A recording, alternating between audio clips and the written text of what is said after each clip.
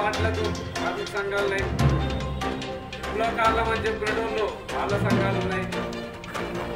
అధికార పార్టీ ఉన్న వాళ్ళకు వాళ్ళ కార్మిక సంఘాలు ఉన్నాయి మతపరమైన వాళ్ళకు కార్మిక సంఘాలు మరి కార్మికుడు కార్మికుడే. పనిచేసేది ఆ కార్మికుడైనా ఈ కార్మికుడైనా ఒకటే పని చేస్తాడు అమాలిగా మూటెత్తాలన్నా ఏ సంఘం ఉన్నా అతనే మూటెత్తాడు కార్మికుడుగా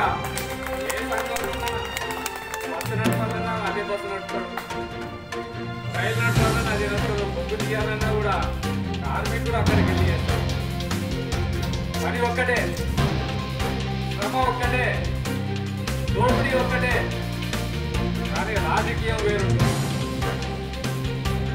ఈ యొక్క రాజకీయ వ్యవస్థతో ఈ దోపిడీ ముందుకు గురవుతున్నాం అసలు ఈ దోపిడీ కారణమైన శక్తులు ఏంటిది ఎన్ని ఉంటున్నాయి. ఇంకా మన బతుకులు ఇక్కడ ఉంటున్నాయి. ఉనికి వాడాలుగా ఉంటున్నాయి. లేబర్ ఖాళీలు ఎలా ఉంటున్నాయి? సౌకర్యాలు ఉండట్లేదు మరి ఎందుకు? అని ఆలోచించాలి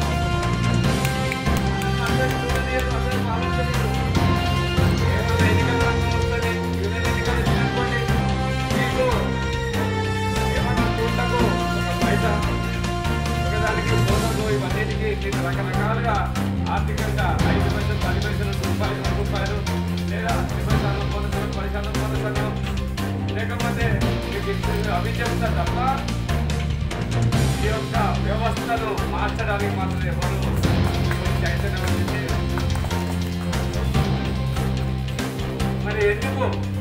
మరి ఆ పని ఎవరు చేయాలి? చేయాల్సిన అవసరం ఏంటిది? అన్నప్పుడు దానికి ఎర్ర జెండా పార్టీ ఒక్కటే చేస్తుంది.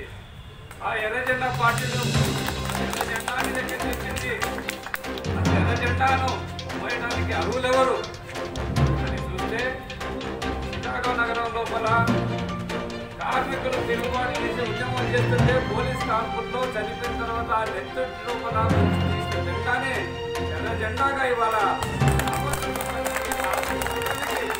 ఆ జెండా ఇది కాదు పచ్చడి కాదు నీలం కాదు రకరకాలు కాదు. పోరాడే శక్తి మా యొక్క రక్త తప్పులతోటి వాళ్ళ జెండా ఉన్నది కాబట్టి ఈ జెండానే మాదని మన కార్మికులు ఎగరేసిన జెండా ఆ జెండానే మాది. ఆ జెండాతోనే మేము తమ సమానత్వం తీసుకొస్తాం సోషల్ తీసుకొస్తాం ఈ దోపిడీ వ్యవస్థను పోరాడతాం. అందుకోసం ఈ జెండానే మాది కూడా అని చెప్పేసి కార్మిక వర్గ పార్టీగా ప్రభుత్వ పార్టీ ఆ జెండాను పట్టుకొని ప్రపంచవ్యాప్తంగా అనేక దేశాల లోపల రాజ్యాలు స్థాపించాం కార్మిక రాజ్య స్థాపన జరిగింది. మరి అదే రకంగా అదే స్ఫూర్తితోటి మన భారతదేశంలో కూడా సుమారు వంద సంవత్సరాల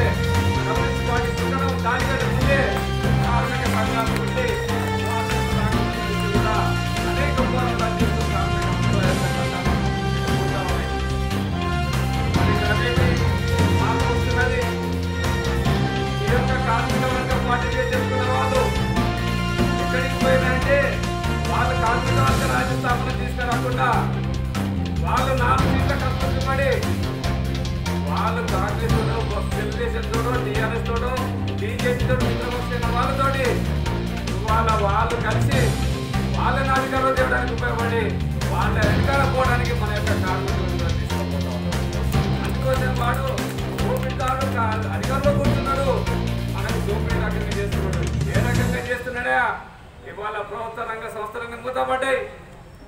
ఇవాళ వ్యవసాయ రంగాన్ని కూడా మార్పులు అడ్రస్ తీసుకొచ్చి ఇవాళ కార్మికులు కొట్టడానికి రైతులతో పాటు కార్మికులు కూడా దాని ఆధారపడ్డ వ్యవసాయ పరిశ్రమలను నష్టపరుస్తారు అంటే మళ్ళీ కార్మికులు రోడ్డు కావాల్సిందే. మళ్ళీ కార్మికులు రోడ్డు కావాల్సిందే. ఇవాళ ఐక్యతకి వచ్చినప్పుడు కానీ జరిగేది కానీ ఈ రకంగా చెప్పుకుంటూ పోతే ఇవాళ మొత్తం కూడా కార్మిక వర్గ వ్యతిరేక విధానాలను మనకు వరంగల్లో ఉన్నది ఏపీ డ్యామ్స్ అంటే